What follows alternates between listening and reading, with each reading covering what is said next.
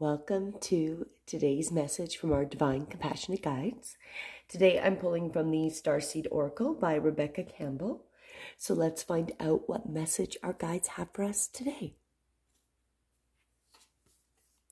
Ooh. Baby steps. Action. Follow your intuition before it makes sense.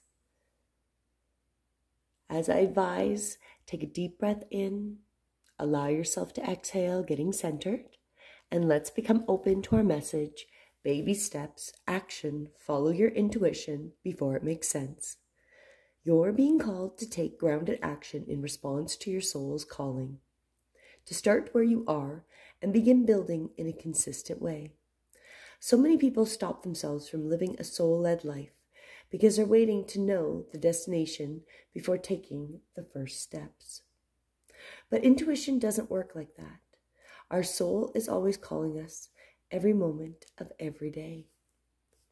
The way to find yourself living in harmony with the cosmos is to listen to your soul's baby calls and whisper each and every day and to take grounded action in the direction of those calls and whispers.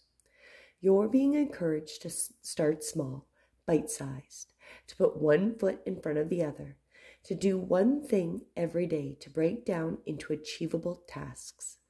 Time on Earth goes slower than on other planets.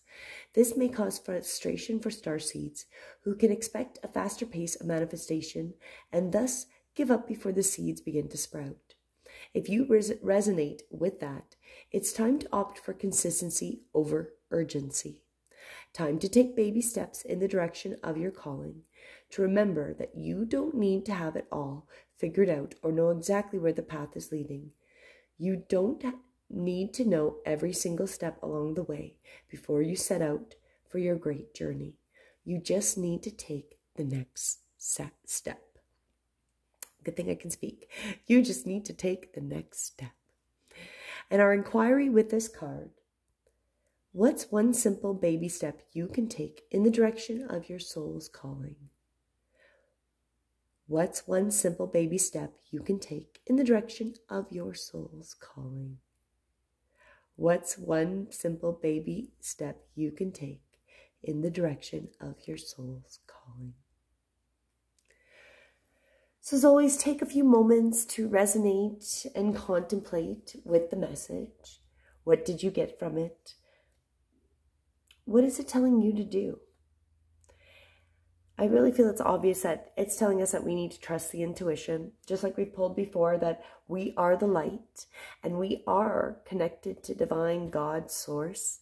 So again, we're being told to take those baby steps towards trusting the instincts, trusting that gut, reconnecting. Follow your intuition, even if it doesn't necessarily always make sense. Have a beautiful day, and until tomorrow, namaste.